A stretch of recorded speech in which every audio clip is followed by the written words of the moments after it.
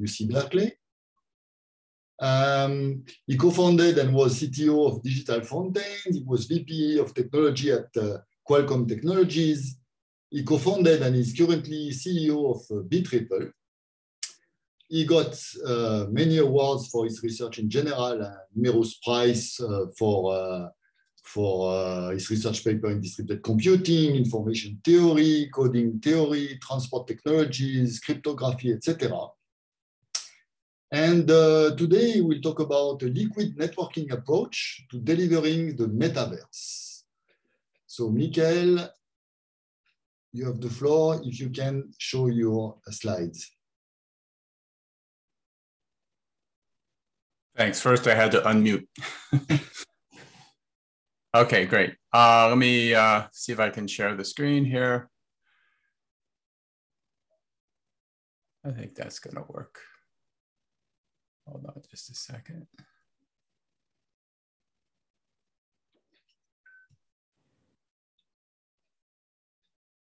Can you see? Yes. Okay, great. Okay, great. Just figure out one thing here, move this off to the side. There we go. Okay, great. So thank you for inviting me to give this talk. It's uh, it's uh, my pleasure. So today, yes, I want to speak about the liquid networking approach to delivering the metaverse. And as mentioned, uh, my my most uh, time-consuming role right now is CEO and co-founder of BitRipple, and I will speak a little bit about what we're doing here at the end. But I want to kind of first set the stage. So, um, you know, six months ago, eight months ago, year ago, you talk to people and you ask them what the metaverse is, and they had no clue. Uh, today, I think everybody probably has heard of it. Um, it was all came from this uh, book. I don't know. It's a really uh, sort of dystopian book, but it's called Snow Crash by Neal Stephenson. Uh, it was written back in the 90s. Um, I read it many years ago. I reread it again pretty recently. Uh, but it really does describe the kind of this basic idea of a metaverse, especially in uh, a dystopian society where everybody is is not so happy in their real world. Uh, but anyway, what this really is is kind of a rich and complex universe where AR, VR, XR, volumetric video media is uh, kind of key. And it's really kind of this virtual universe where people kind of live and play and interact with each other, uh, in his book at least uh, to the point that it's uh, just as real or and in some sense even more real than the real world. Um, and the, the one of the key ideas is that the players are actually not physically inside of this universe, of course. They're geographically distributed in, in reality. Uh, but the interactions within this metaverse are highly interactive in the sense that they almost feel like they're in the same space or room together, interacting with each other. So it provides a very kind of life life experience. It feels as if it were real. So we're still a long way away from this, but that was kind of the vision in this uh, snow crash. And that's again where this term metaverse originally, I'm not sure that Neal Stephenson came up with the term metaverse, but it certainly is the reason everybody talks about it now because it came out of that book. Um, so that, that's kind of the, the first uh, sort of theme of this talk. The second one is this liquid networking approach, uh, which is um, essentially it's when you want to deliver data, you convert it into what I call liquid data. So it's actually the liquid data that's delivered through the network and liquid data that's cached in the network. And it's called liquid data because the liquid data packets are fungible, they're interchangeable. So data can be recovered from any portion of enough liquid data. So it doesn't matter which portions of the liquid data that you receive, it's just important you receive enough. And I'll talk a lot more about that in, in, the, in the later part of the talk. Um, so the goals to kind of merge these two things, the metaverse and the liquid networking approach, is to use the liquid networking approach to deliver this metaverse experience. And so what's really required to deliver this metaverse experience, you need to deliver uh, data at very high data rates. Uh, we'll talk a little bit more about the, what those data rates are in the in the future. um, with really ultra low latency. And that's really key. The ultra low latency is really important because uh, you want it to feel like as if though, again, everybody's in the same room interacting with each other. Uh, they're, they're, even though they're geographically uh, dispersed. By the way, I'm more than happy to take questions as we go forward. I'm not sure I'll take the whole portion of my time. We'll see. So let me just talk a little bit about more about the, the metaverse at a high level. Um, there, has been a lot of uh, press recently about the metaverse. Uh, this is a slide that was put together by one of the folks who was studying this area. And so these are uh, some kind of snapshot of the companies, at least that he sees that are playing in this metaverse and uh, in, put into different categories from delivering the experience like Fortnite and Niantic and Riot Games and so on, Nintendo, uh, to discovery, to creating the economy. Uh, so Unity is important here. Epic Games is very important, and you know a lot of these others are as well. To spatial computing, to decentralization, to human interface, to infrastructure. So all these players play key roles in this. So um, there was a, uh, uh, a, a, metaverse primer that was written by Matthew Ball that was published back in June of uh, this year.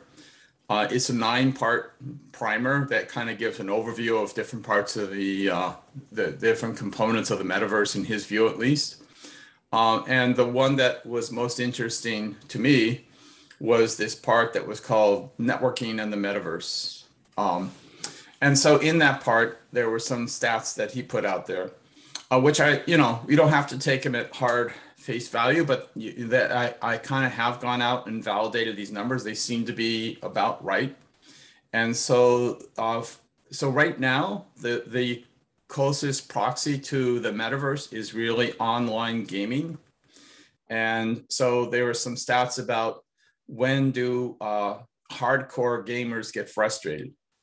And hardcore games get frustrated, at least in this published study, when the latency is more than 50 milliseconds. That means between the time that they take an action till they see the reaction to that action. So uh, 50 milliseconds is, is when things start getting frustrating and even sort of casual non-gamers who are playing games get pretty impeded when the, the uh, latency grows to 110 milliseconds.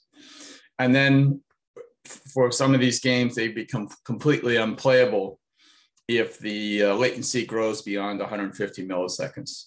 So these are the kind of latencies that we're talking about for metaverse applications. In fact, uh, for headsets and so on, there's even tighter latencies. Uh, if you move your head and the universe doesn't, if you're on a head mounted device and if, if it doesn't react within 10 milliseconds, uh, people tend to get sick from the experience and, and obviously don't want to play anymore. So, and then for other kinds of data delivery, the latencies are probably not quite as tight. But overall, this kind of gives you the idea of what kind of latencies we're talking about. So this is uh, kind of really one of the challenges. Um, in the same study, he also published uh, some results about uh, what, what the business impact is on latency. Uh, I think you need to take this with a bit of grain of salt because this was uh, based on uh, data published by a company that he had invested in. But nevertheless, I think it is interesting. Uh, so it, this quote in particular says every 10 millisecond increase in latency reduces weekly playtime by 6%. So the challenge is really to deliver this metaverse experience, which is really interactive and immersive, um, while at the same time providing uh, an experience where the end users are not tethered to their desktops. You know, they need to be mobile. Um, and as 5G networks are being deployed and uh, Wi-Fi 6 is getting out there, the networks are getting to the point where they can support the kind of delivery rates that are needed for the metaverse. But nevertheless, um, if, if you if you see a lot of the uh, demos right now that companies put on where they kind of show this metaverse experience, Um, in a lot of cases, they've got the content all preloaded down into the headset uh, because they don't trust the delivery over the internet. It just doesn't work reliably enough to trust that for a demo. And, and so there is a challenge in, in moving from um, these demo kind of experience to something where it's really deployed and working. Um, so the data rates that we're talking about range from 10 megabits per second to beyond one gigabit per second. And that's the delivery rate to each end user that's in this kind of metaverse experience. And the latencies can range anywhere from, depending on what the data is and what the application is and so on, from one second down to less than 10 milliseconds. So uh, today, networks do not support metaverse experience and mobility using existing delivery solutions. So that's one thing that we're we're really focused on at this point. Any questions or thoughts or comments?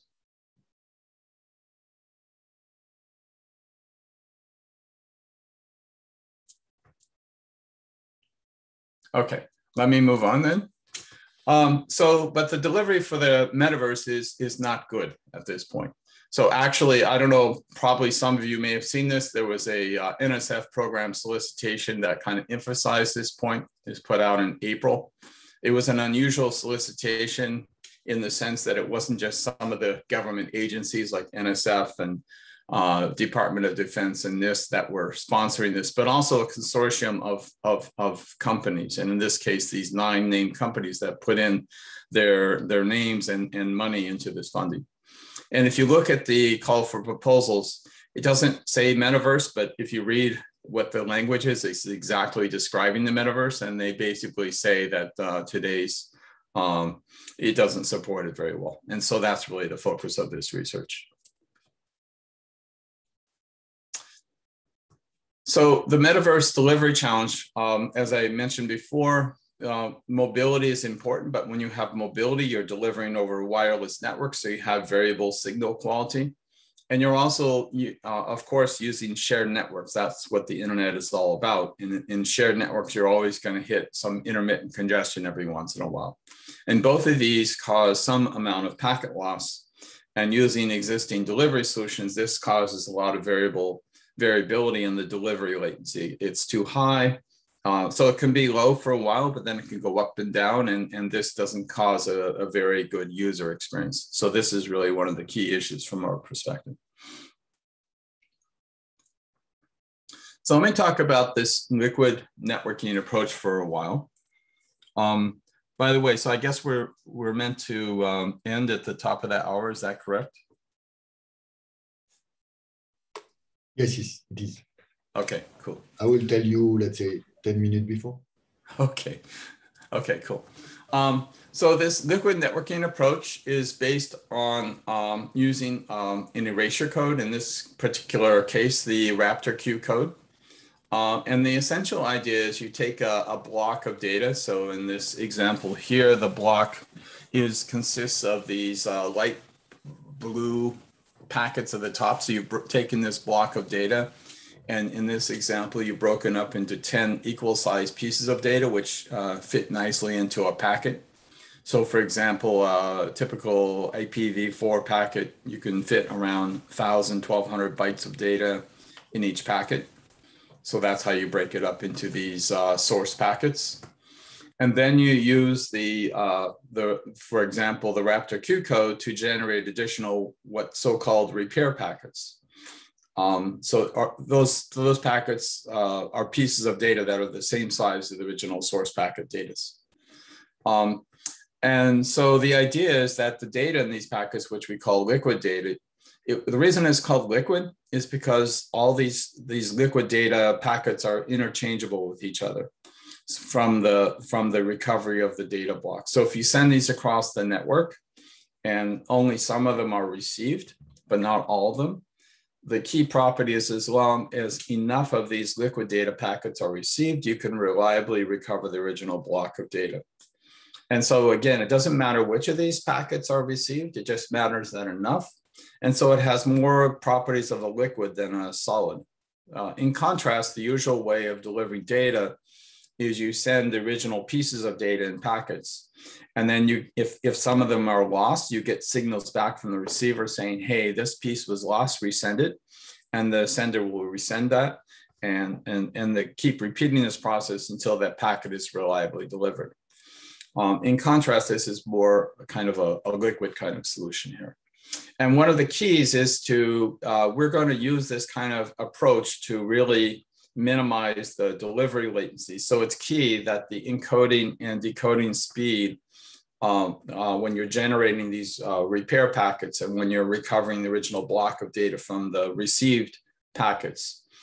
Uh, it's crucial that these encoding and decoding speeds are really, really fast. And the reason is because you just don't want this processing to get in the way of um, adding latency and using up CPU resources, resources. You want it to be as low cost CPU as possible. So, um, so um, we have, um, there, there are implementations of this, for example, the Raptor Q code that where using just a single processor of a standard uh, CPU, you can encode and decode at many gigabits per second.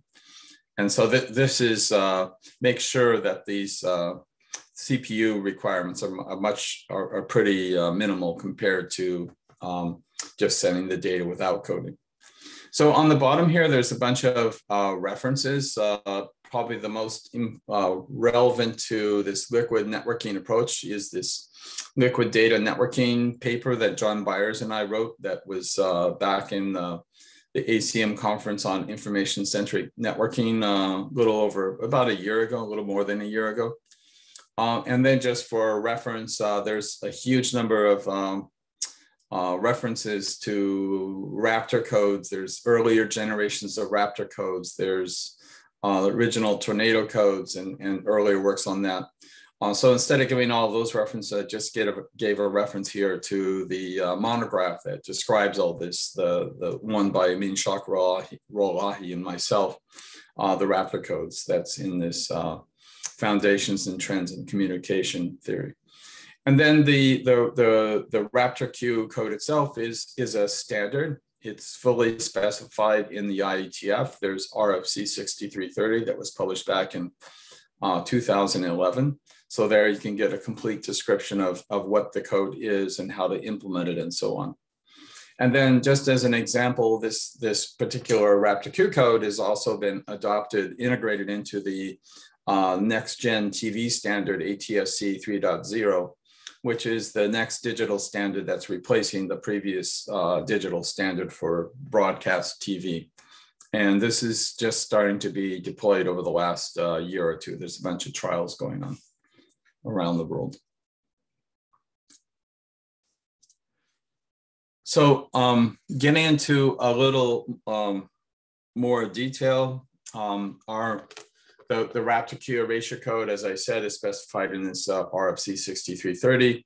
Uh, the data block is converted into liquid data. You can generate as much or little liquid data as needed from a data block. So for example, if you're sending over a perfectly good network, you may send uh, zero or, or just the size of the original data or a little more. Uh, but if you're, you think you're going to experience a lot of, of packet loss, then you can generate as much as you need. And so one of the key properties about the Raptor Q code in particular, and, and, and all the codes that I've worked on in the past, is that there's a uh, linear time encoding and linear time decoding algorithm and the recovery properties are almost ideal. So for this code, you can always recover from essentially with 99%, you can recover from exactly the same number of packets that were in the original data block.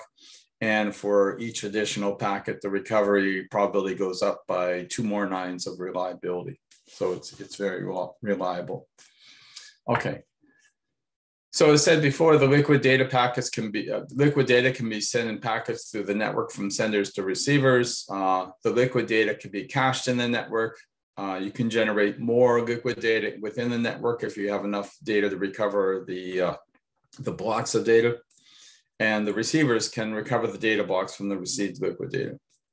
So, um, and as I mentioned a few times before, it, the, it's interchangeable. So the data block is recoverable from any set of liquid data equal to the block size. And that's kind of the key to uh, sort of reducing the latency of delivery and providing the, the a much more flexible approach to, to uh, delivering data over the internet. So uh, we, so in this LDN paper, we uh, pr proposed an architecture for integrating LDN into the internet using uh, any kind of erasure code, actually. Uh, and so the benefits are that it provides resilience to packet loss, uh, can provide reduced latency. It can provide improved delivery bandwidth. And one of the keys to this is instead of just delivering data over one interface to an end client, you can deliver over multiple data paths, multiple interface concurrently, and kind of aggregate that bandwidth up and sort of speed the download quite a bit. Um, you can provide improved support for mobile clients. So as mobile clients are moving from, say, reception of within one tower to another tower, instead of having this tricky handover where they kind of have to, you know, a packet's in transit uh, from the current tower to the mobile client, and you have to kind of they just switch just before it gets there. So they have to retran- reroute that to the other tower. With the, the liquid approach, that's just unnecessary. They can just go and get whatever liquid data is coming from, you know, requested from the second power without worrying about the loss of that one packet from the first power. So it really improves things. And then there's also improved caching performance, which I'll show a couple of examples of. Um, uh, there are, of course, some potential integration overheads. So uh, one would be worried about signaling, uh, latency, security, response, and storage. Um, so there has been some work on uh, integrating erasure codes into um, an internet architecture. Um, we don't feel that these really extracted the full benefits. Each has issues with at least some of these overheads. And uh, we think that the, the LDN approach is uh, something that will be, um, you know, provide the benefits that we think it does. So one of the, some of the key uh, points of this LDN, one is, um, so typically uh, over the internet, we are thinking of delivering objects. So one thing to um, be concerned with is how do you uh, translate an object to a network data name so that you can actually request it and download it and so on. So an object is a unit of data that is useful, a video segment, an image or email or a file.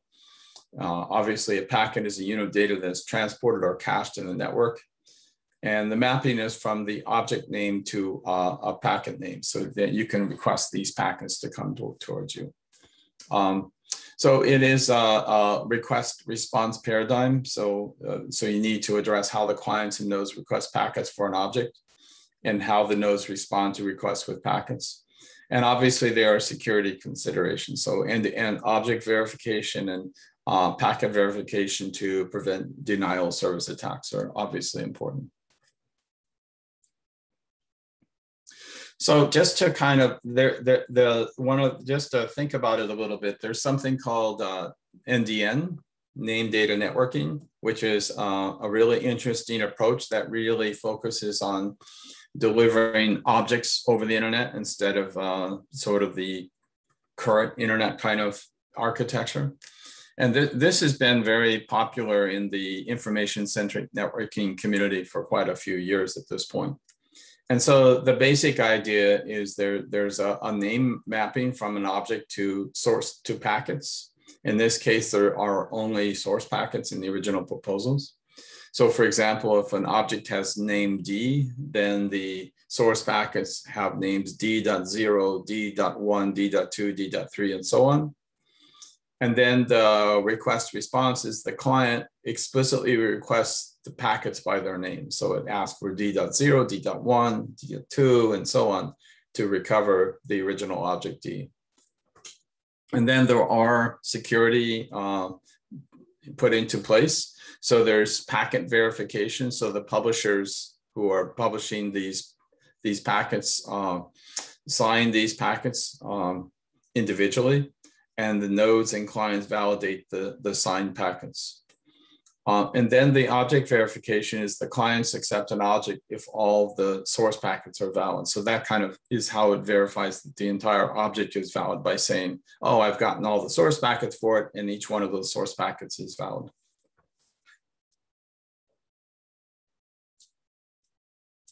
So there has been a, a, fair amount of good work on integrating erasure codes into uh, an information-centric networking context. And so this is a, a, list of some of those works. Uh, it's not a complete list, but these are some of the more relevant um, works that have been done. And on the top is just showing that uh, an original object um, is proportioned into K source packets. So K is a parameter that depends on the object length and the packet size. Um, and then the erasure code is used to generate uh, additional repair packets, which are typically index K through some bigger value, capital N minus one.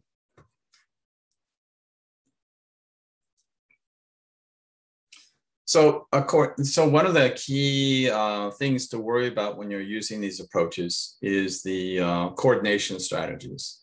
And so what do I mean by that? So, so put, take the client on the bottom left. It's trying to download some, some object, uh, but it's downloading some of the packets from the node on the left and some uh, packets from the node on the right. And what it wants to make sure of is that the packets that it gets through the purple path are different than those that it gets from the green path. Because if they're, if they're not different, then uh, it's downloading redundant data and, and that, that adds to reception overhead and wasted bandwidth and that's bad. So what you so again, what you'd like is that this client, whenever it's downloading from multiple nodes, it's, it's making sure that it gets different data from each of these nodes. On the other hand, for um, caching purposes, if multiple clients are downloading uh, data for the same object from the same node, it's preferable if they all are downloading the, the same uh, packets. And the reason for that is for caching efficiency. So on the right here, there's two client, these two clients are downloading packets from this right node over these, over these green paths. And preferably you'd like the data to be the same so that um, this node can just cache the response. It doesn't have to have twice the amount of data to deliver to these two clients. It could just use the same data to deliver to these two clients. So there's a bunch of uh, work on prior uh, prior work on request strategies. So some uh, ask for very specific data. The client asks for specific, specific packets of data by name. Um, but it, it, it makes it difficult to enable this common response some, some previous work just uh, says, okay, just deliver random data. So a client requests an amount of data packets and the response is randomly generated encoded data. But then it's uh, difficult to distinguish between the common and additive response in that case. And then uh, there's another approach that says the client specifies data it has already received to the node and the response is additional data that will be useful. But this makes it much more complex and there's um, some other issues with that as well, especially with the additive response sort of property.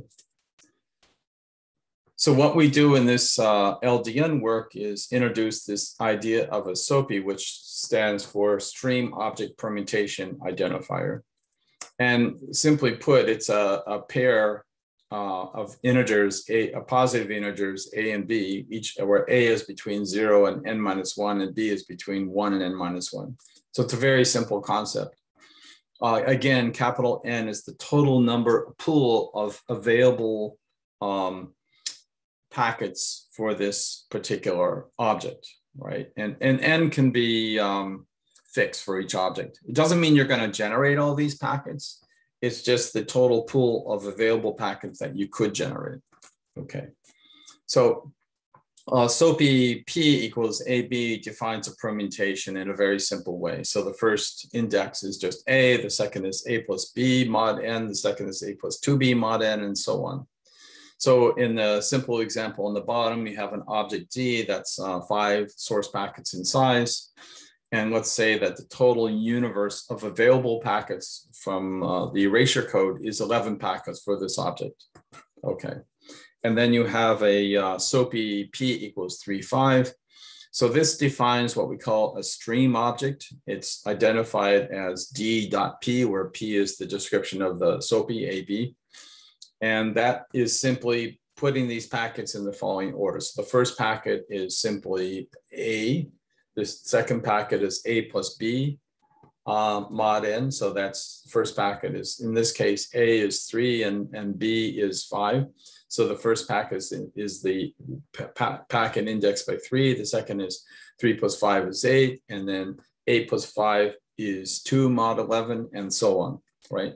And so that's the order of the, uh, the, the, the data in this stream object D.P.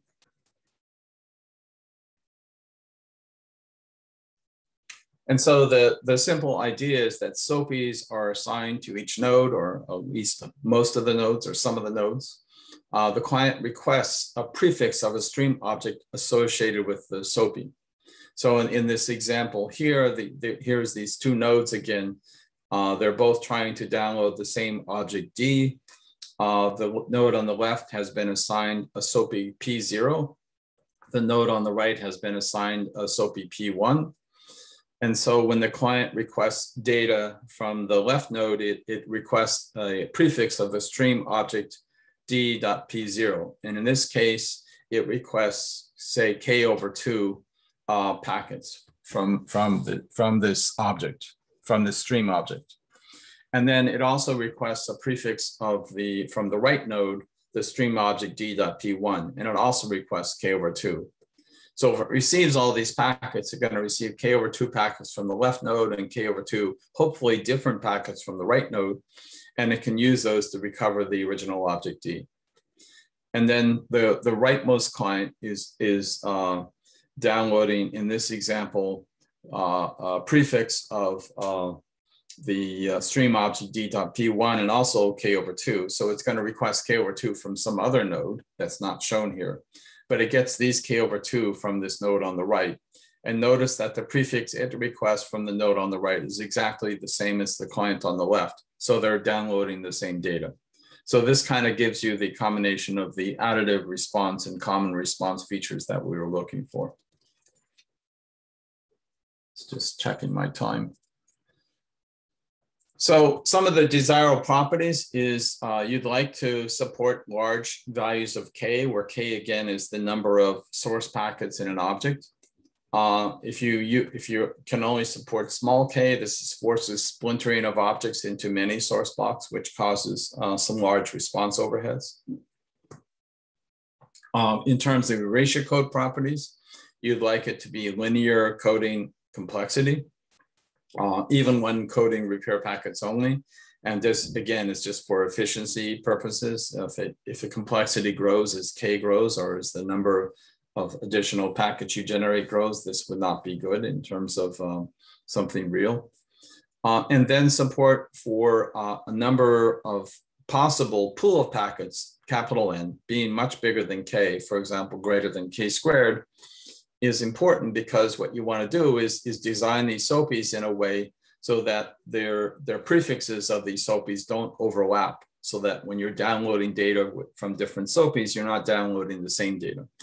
And it turns out that when n is greater than k squared, um, it, it, really makes the design pretty simple. So you can choose SOPIs randomly, and there's a paper on the bottom, uh, which I sort of very technical paper that's up on arXiv, which it was a lot of fun to write, which shows that when you uh, choose these SOPIs randomly, when n is greater than k squared, then it does have this property that you can, um, the prefixes of these SOPIs, uh, a k prefix of different randomly chosen SOPIs are large, very largely non-overlapping. And in fact, you can also show you can deterministically design a large set of SOPIs and assign those to different nodes so that you have these deterministic guarantees when you download prefixes of them, where the total prefix size that you download from these different so is at most k or some fraction, multiple of k, is very small. So there are a bunch of different erasure code choices. So random linear network codes and Reed-Solomon codes are examples of erasure codes that you could use in this design. Uh, these codes in particular have some significant complexity and response overhead trade-offs because uh, their complexity grows more than linear as the size of K grows, and uh, especially when you have a lot of repair packets in your in your uh, that are specified by these SOAPs. Uh, there's another code which is a fountain code, the BAT code. It has reasonably okay trade-offs. Um, the RaptorQ code, which is why we use it to base all our, our, our actual implementations on, uh, is because it has near optimal trade-offs. And it, it's very good in terms of linear encoding and decoding complexity and in terms of uh, reception overheads and so on.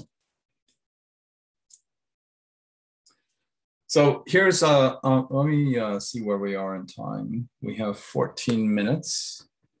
Uh, Okay, let me just go through this one example and then I'll skip a few slides and go to the uh, to the metaverse stuff more.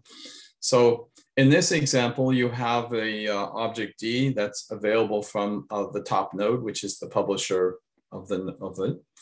And then you've assigned these um, SOAPs P0 to the left node, P1 to the middle node, P2 to the right node on the bottom row of nodes.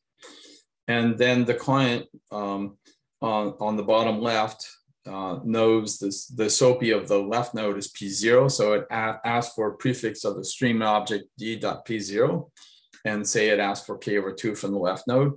And it knows the uh, of the right node is P1. So it asks for a prefix of uh, the stream object D.P1 and again, K over two from there. If it gets all these uh, if these are non-overlapping uh, stream objects in the sense they don't have any uh, liquid data that's in common between them, then this is enough to recover the original object D. And then the, the right client is gonna sort of request half from the middle node and half from the right node according to their the corresponding uh, SOAPs P1 and P2. And so these requests go up to these nodes and they're uh, so the so the node in the middle, actually none of these nodes have any of the data uh, from the stream objects at this point, the liquid data. So they just pass those requests up the stack.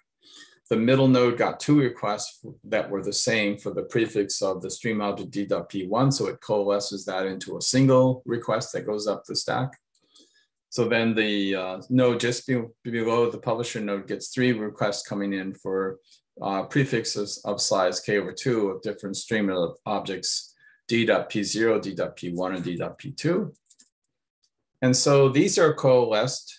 It's, it knows that, that the bottom node knows it doesn't need um, 3k over 2 to recover. It knows it just needs k to recover. So it, it shortens those requests going up to the top node to just um, k over 3 in size. And when the response comes back to that node just below the publisher node, it can recreate the object at that point and, and then generate on its own the, the request down to the, the three middle nodes.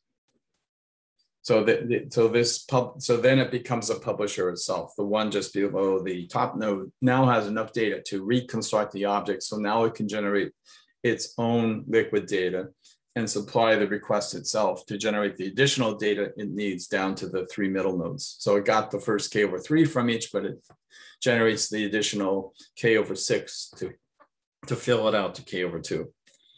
Okay, and then those, those uh, requests percolate back down to the clients, which allow them to recover the uh, original objects uh, while at the same time, the, the middle nodes keep those, uh, preferably keep cached the, the responses they already got. So if there's uh, additional responses coming in from other clients in the future, they can respond with to those with data they already have instead of having to request more data upstream. So I, there's a load balancing thing here that I can, uh, I think I'm going to skip over, which shows you can really substantially reduce the amount of data you have to cache using this system because, you know, in this example, you reduce it by a factor of five to provide a much better kind of uh, delivery. But I think I'm going to skip over this in the, um, and I'm going to skip over the security because we're kind of getting close to the uh, end here. So in summary, this, uh, this LDN design avoids response overhead so client can make explicit requests the SOPI design ensures minimum amount of data needs to be received to recover objects. Uh, it's really interesting and, and fun to uh, sort of see how to choose and assign these SOAPs. So uh, small number of SOAPs overall may be possible. So this is uh, sort of a research question that's still interesting, although there's been some work done on it already, obviously. Uh, and there was some interesting security that I didn't really talk about here, where we make a distinction between the originator of an object and the publisher. And this seems to be important. And it, it seems like this is a, a, interesting architectural extension of the internet that uh, where the benefits of erasure codes are achieved and overheads are, are avoided. So let me go back to the metaverse again. uh, and this is really more the focus of the company that I co-founded, BitRipple. So we're going to talk a little bit about what we're actually doing there. So this is a liquid, liquid networking approach to uh, delivering the metaverse.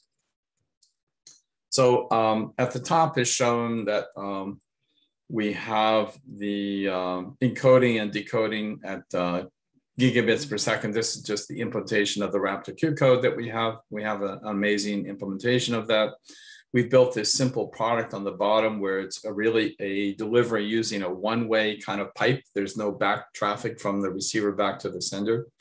So the data flows into the sender. It's broken up into equal sized pieces. Uh, it, uh, a certain amount of packet loss protection is put on there by generating repair packets that's delivered over this lossy network. The blocks are recovered at the receiver and the, the data flows out. Um, so this is actually used for some interesting use cases already. So for example, we have one customer that's using this for um, uh, defense reasons. They're delivering data from LEO satellites down to ground stations using a one-way channel. And the reason it's important to have this one-way channel is because the uh, receivers don't want to give away their position. So they don't want to transmit any packets back up to the uh, satellite. So that, that's an example of where this is being used at this point. Um, we are developing uh, additional uh, solutions at this point, and one of the key ones is uh, for metaverse delivery is, is shown on the top. So this is not integrated at this point, but we do have research, and this is an example of what the research shows. So on the left, in this example, we're delivering 100 blocks of data. So that think of these blocks of data being generated in real time. So time going along the x-axis here is uh, when those blocks of data become available, when the block zero, block one, block two, and so on. And so what we did in this simulation is we uh, changed the packet loss rate over time. So we started at zero and then we ramped it up to 20% back down to you know, 1% and then slowly went down to zero and then back up again and so on. And in the middle graph, it shows the amount of bandwidth that was used to reliably deliver these uh, blocks of data from uh, sender to a receiver using uh, our solution versus that of an optimal retransmission based solution. And so the orange line shows the amount of bandwidth that we use for an optimal retransmission based solution versus um, our solution. And as you see, as the uh, and you know, they're, they're, the our solution is always a little more than the uh, the optimal retransmission based solution, but not by very much. And it sort of follows the curve. They follow each other up and down as the packet loss varies. the key is on the right, where the delivery latency is, is graphed. And at the beginning, as you see, the, uh, the delivery latency when there's no packet loss is exactly the same between the two solutions. But as soon as there's any, even a little bit of packet loss, the retransmission based solution uh, it suffers from uh, significant increases in variability and latency. It goes all over the place. And uh, th by the way, this is the optimal retransmission-based solution. So actual retransmission-based solutions that are out there will probably be much worse than this. So this, this is kind of the, the best it possibly can do that's graphed here. And as you see with, uh, with our solution, the uh, latency, delivery latency stays minimal throughout the entire delivery. And that's kind of the, the key point. Um, and then we're looking forward to, to uh, you know, integrated in flow control and multipath delivery and so on um, into our, our, our solutions. So how would this be integrated into a, a metaverse ecosystem? You have at the top uh, um, a metaverse um, server that's still generating all this rich universe of content based on feedback from the end users. And it's delivering that universe down to these uh, end clients. So you have uh, servers sitting right next to the metaverse server that um, deliver the actual content down to the uh, end devices um, using this liquid data kind of approach. so we have a, a, pretty cool demo that we put up pretty recently, uh, which is a, shows ultra low latency demo. I encourage you to go look at it. It's up on YouTube. I have a link here on the, the right if you look at it, what we do is we compare local, so it's a real-time data stream. Actually, it's pre-computed, but it's it's made available for delivery as if though it was generated in real time. It's a uh, 4K video stream encoded for real time at uh, 70 megabits per second. So on the, it's this was delivery over Amazon Web Services into a home over Wi-Fi. And um, at the server, the video is made available as if though it was frame by frame, as if though it was generated in real time and delivered. And that's compared against local playback of the same uh, content on, on, as if if you had it really right inside of your house. And the, the difference in the latency is almost zero. So they're almost always right in sync with each other. And then if you compare that against using standard solutions like uh, HLS, which is the Apple HTTP live streaming solution that's used pervasively across the internet for delivering uh, streaming data, um, that one has significant legs um, and it gets worse over time. And, and, the reason is pretty obvious. It wasn't really designed for these ultra low latency stuff. It was designed for delivering sports to you over, uh, you know, the internet where the, the time between when the event actually happens and when you view it can be tens of seconds, right? So um, then th this is one of the reasons that these new delivery sort of solutions need to be out there because the requirements are so much tighter. Based on this, we're actually had a few reach outs and we're uh, in the process of delivering another really interesting demo um, from device to device over a 5G network, uh, where in this case, we're delivering 8K video and it's kind of a video conferencing app. And hopefully uh, this will be coming out pretty soon. So that's really it. Uh, thanks for your time and interest. And uh, it's been fun giving this talk. Uh, if you want more information about our company, just go to this website. Um, also, if there's any questions about anything, I'm more than happy to to answer them. Thank you very much. So yes, are there any questions?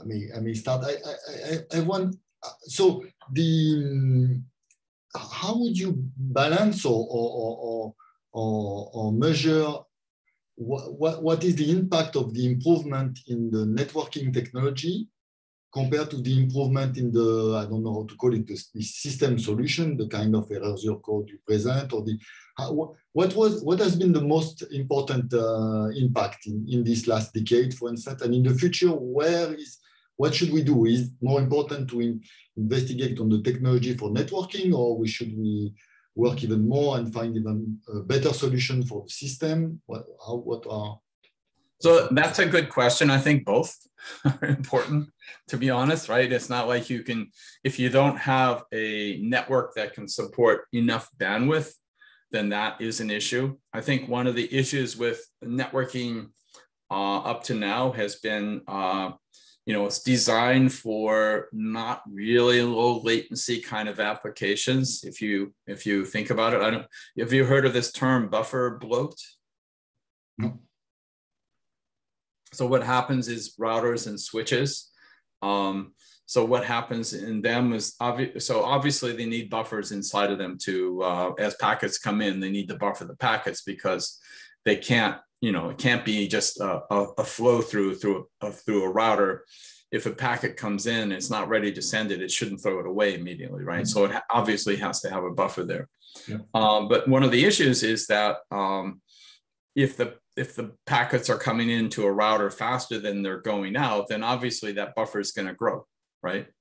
and it can grow significantly. There, there have been people out there who've who've done this, and you know the buffers can blow blow up from seconds of latency to many seconds of latency, and obviously that's not something good for supporting metaverse kind of applications, right? And so there's more modern uh, packet sort of buffer policies out there. So in the old days, there were things like red random early discard and so on. Those were really good uh, ideas that uh, got some traction.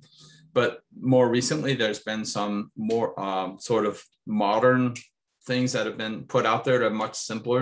There's something called CoDel, uh, FQ CoDel, for example, and what this does essentially is it looks at in 100 millisecond uh, time intervals, uh, all the packets that arrive in a 100 millisecond time interval within a buffer. It looks at, at what's going on in there in terms of how long the packets within that 100 milliseconds stay in there for more than five milliseconds. And if there's any packet that stays in there for more than five milliseconds, it starts discarding packets, right? And so it really tries to minimize so there's been more concentration in the networking world also on sort of making sure that buffers are not bloating within the network and causing end-to-end delays, right? Because that would really, um, it's not suitable for these kind of applications. If you look at what 5G is all about, one of the keys that they're really focusing on is really minimizing latency because they know how key that is. It's it's partially, I mean, obviously the bandwidth improvements are crucial as well in the network. You need to, you know, 3G networks are not going to cut it. 4G are not going to cut it. 5G are much better uh, and beyond. Uh, that's why Wi-Fi 6 is also important. You need more bandwidth to deliver this stuff.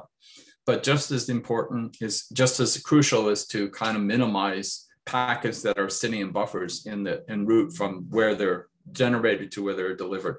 And that, that is a key area for networking to, to focus on. There are also companies out there that put in, you know, are really focused on this as well, that are putting in their, you know, over overlay networks and doing intelligent routing and all this stuff to minimize delays.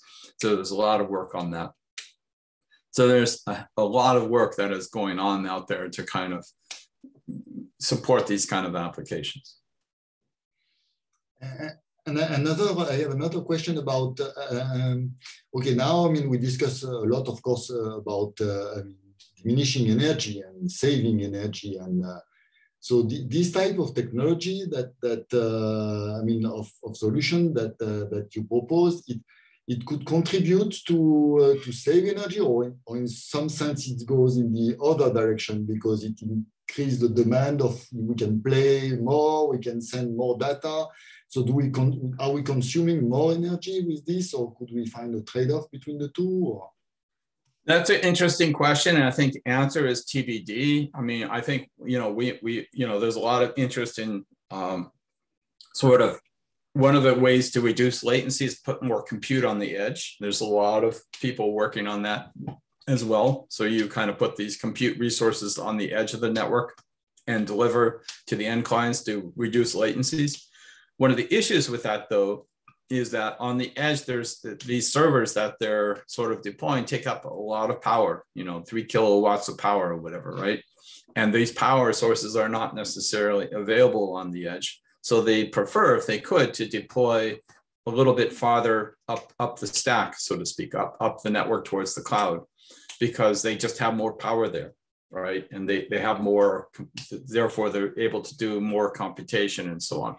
So one of the possible advantages of this kind of um, liquid networking approach is to be able to deploy a little bit farther away from the edge, but keep this kind of same sort of minimal delivery latency in place uh, to provide a really good experience just just for the uh, because that's where you can deploy it more easily and cheaply than you know by putting power into the edge as an example right at the edge I don't know if that answers your question. Yeah. Okay, any other question? Turn on your microphone if yes. You can also send a message in the chat. Okay. No? Okay, all right. So thank you very much, Michael. And uh, I think that's the end of the day for SSS and we start again uh, tomorrow. So thank you very much. Bye-bye. Thank you. Bye-bye.